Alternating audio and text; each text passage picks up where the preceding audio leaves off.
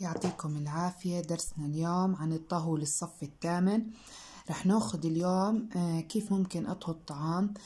آه، طبعا في عندي قواعد الصحة والسلامة العامة أثناء إعداد الطعام. شو القواعد اللي أنا لازم أحطها بعين الاعتبار وأنا بعد الطعام؟ رح أخد طرق الطهو عنا طريقة السلق ممكن الشوي عنا طريقة التسبيك ورح نحكي كل طريقة من هاي الطرق شو الخضروات أو شو اللحوم اللي ممكن تنطبخ من خلال هاي الطريقة. نيجي لأول إشي قواعد الصحة والسلامة العامة. أول إشي غسل اليدين بالماء والصابون. أول ما ببلش أطبخ بغسل إيدي. برتدي ملابس الخاصة بالعمل زي مريول المطبخ. المحافظة على الأواني وأدوات الطهو نظيفة تجفيف اليدين جيدا قبل استعمال آلات الكهرباء. إذا بدي أستخدم أي شيء كهرباء بنشف إيدي. تجفيف الأطعمة المراد قليها قبل وضعها في الزيت عشان ما يكون مي وزيت مع بعض. مراقبة عملية الطهو باستمرار. يعني ما أحط إشي على الغاز وأروح وأبعد عنه أو أنساه. توجيه مقبض المقلاة أو الأباريق إلى الداخل. بكون بشتغل بالمطبخ أي بريق لبرا أي عنا مقلة لبرا بدخلها للداخل. إغلاق أنبوب الغاز بعد الطهو يعني جرت الغاز بس أخلص بقوم بإغلاقها. هنا طرائق آه الطهو. طريقة الطهو نيجي لأول طريقة. عنا طريقة السلق. طريقة السلق هي أسهل طريقة. مثلا عندي أنا بطاطا بجيب عندي من الأواني طنجرة بحط فيها البطاطا بغمر البطاطا عنا بالمي وبضعها على الغاز. هاي بنحكي عنها عملية الطهو بالسلق. طبعا عندي آه، قواعد أو أشياء لازم أراعيها أثناء عملية الطهو بالسلق. أول إشي لازم كمية المي تكون كافية. يعني حطيت البطاطا لازم أغمر البطاطا ما أخلي المي أقل من عنا البطاطا. أن يصل الماء إلى درجة الغليان يعني بضل حاطة المي على النار حتى تغلي إزالة المواد المتخثرة أي الريم عن سطح السائل.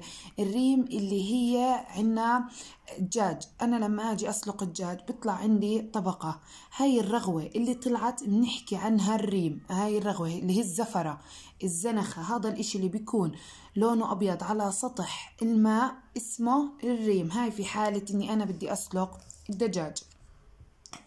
طبعا هاي الطريقة تحافظ على القيمة الغذائية للأطعمة ويجعلها سهلة التقطيع والهضم وخاصة للكبار السن والأطفال. نيجي للطريقة الثانية. عنا طبعا هاي طريقة كيف سلق البطاطا بالخطوات.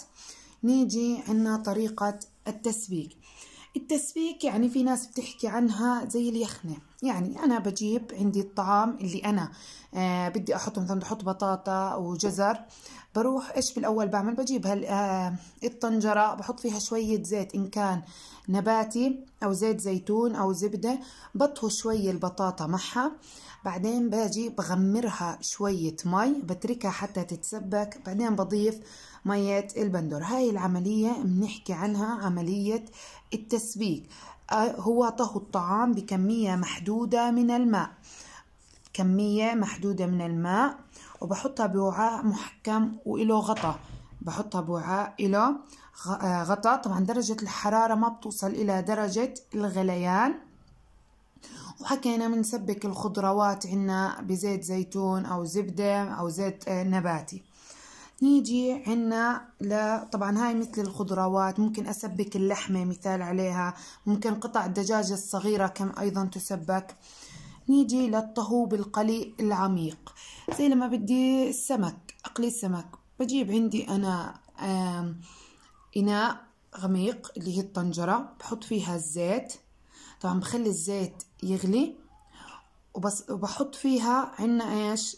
قطع السمك أو الدجاج أو الاشي اللي أنا بدي آه، أقوم بقليه أو ممكن البطاطا البتنجان يعني مو ضروري لحوم ممكن يكون عنا آه، خضروات.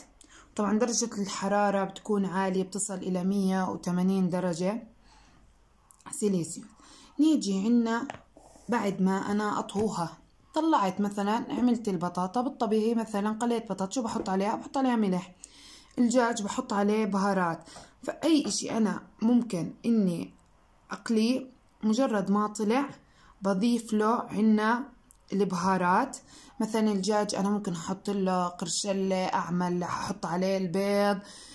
كل نوع له طريقة معينة بالقلي نقلي الخضروات مو زي قلي الدجاج هي عندكم هون كيف بنقلي الدجاج يعني كيف بنعمله بروستد. هاي الخطوات كاملة.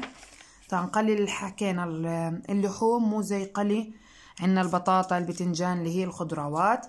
عنا آخر طريقة اللي هو الطهو بالشواء. أنا شو ممكن أشوي؟ طبعا مش بس الشوي اللي هو إحنا بنشوي على المنقل برا البيت لا ممكن الشوي يكون عنا بالفرن. إن كان فرن الغاز فرن كهرباء هاي كلها أنواع عنا بالشواء. عنا هاي بتكون من أسرع طرق الطهو. بدك تعرف إنه طرق الطهو أسهل وحدة للأكل اللي هي عنا حكينا حكينا أسهل طريقة عنا الطهو اللي هي السلق خاصة لكبار السن والأطفال. لكن أسرع طريقة بالطهو اللي هي طريقة الشواء. طب ليش هي أسرع طرق؟ لأنه يمكن الاستفادة من العصارة الناتجة منها في عملية الشواء يعني الشوي بيستوي بتسخين درجة الحرارة اللي بتكون محيطة عنا باللحوم. وبنفس الوقت هي العصارة اللي بتنزل عنا من اللحمة بتساعد على استوائها.